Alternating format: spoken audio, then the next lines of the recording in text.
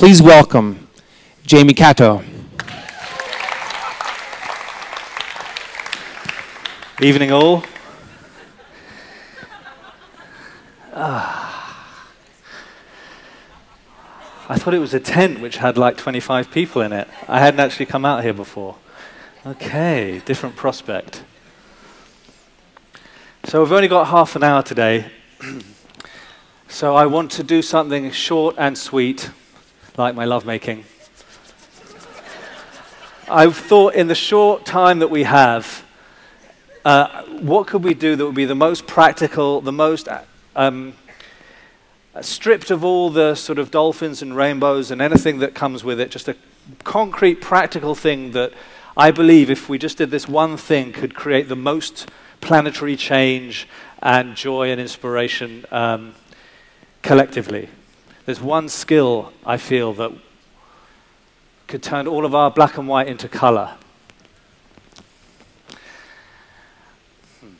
That got your attention, didn't it? This skill is based around the idea that the body is the most incredible self mending, self healing thing we know we have in, on the whole planet is a body. When you scratch the uh, skin magically over a period of short time, it, it mends itself over. If you break a bone, it mends itself. The body is constantly scanning for bacteria and viruses. It's making its own drugs all the time, secreting stuff, mixing it together, administering it to us in the perfect quantities day and night. It's this, like Deepak Chopra says, it's an exquisite pharmacy. It's the most amazing self mending, self rejuvenating thing. The great discovery that I've made, and forgive me, but it is always in these situations my job to come and sit places and state the obvious. The body is not only doing that self cleansing, self mending thing on the physical level, it's also trying to flush out that great big constipated lump of emotional, overreactive, triggery, ugh, that we all carry in kind of a pillar down here. Does that make any sense? You know about this pillar? If you've read Eckhart Tolle's book, The Power of Now, he talks about the pain body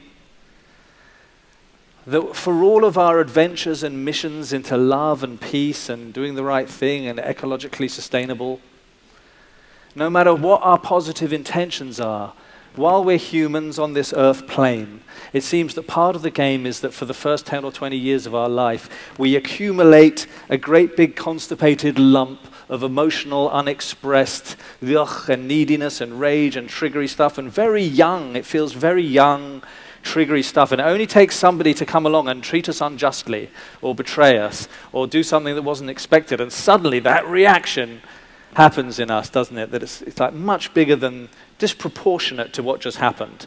They could have done something quite small, but the reaction is like huge.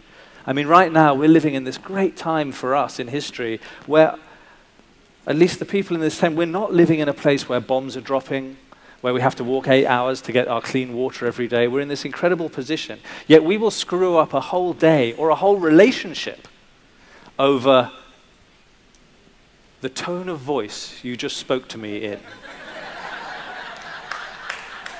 yes? Can I get a hallelujah? so we've all turned into these unbelievable, overreactive, bridge burning divas and that's what the send button in the email is for. Send. Yeah. All because of this, these explosions that go off in us. Sometimes it's a volcanic explosion, sometimes it's a contracted explosion. But these things, these triggers that go off in us when somebody else treats us a certain way, they feel so excruciatingly uncomfortable that usually in our culture, we will do anything but feel that feeling. We jump straight into some external battle to make you wrong, to fight you, to control you, to manipulate you, anything to set it up and change it so that I don't have to feel this. And our whole culture is actually built on this self abandonment That anytime we feel something uncomfortable, whether you did it to me or it just came up in me, we want to move quickly away from the discomfort towards the comfortable. We've been sold this fake myth that life is all about moving away from the uncomfortable towards the comfortable. The problem with that is that the place where we get to move that great big lump of constipated, yucky, overreactive emotional stuff out is in the uncomfortable. So if we're living our lives constantly running away from the uncomfortable towards the comfortable, we're going to constantly perpetuate having a bigger and bigger and bigger lump of constipated, reactive, disempowering, bridge burning stuff in us. So, what has turned my life from black and white to color, and what I want us all to do for the rest of our lives after we leave this tent, is to dare to try a new way where we change this constant battling with the external and fighting people and blaming people and condemning and pushing away and retreating every time we get one of those explosions we don't like. Instead of always going into why the external is the reason and to change our focus from the external to suddenly turn it round and become fascinated with the thing that just erupted in me instead of in rejection of it.